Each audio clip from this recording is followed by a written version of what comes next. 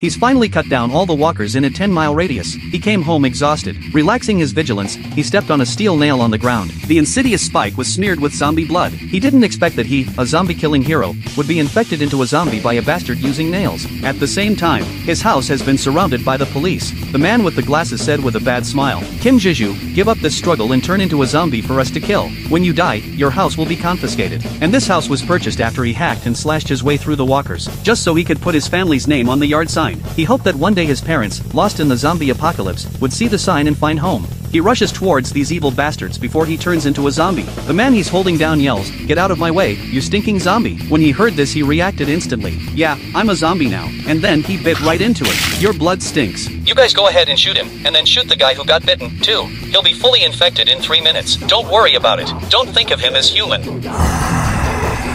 This is my house. None of you will take it from me.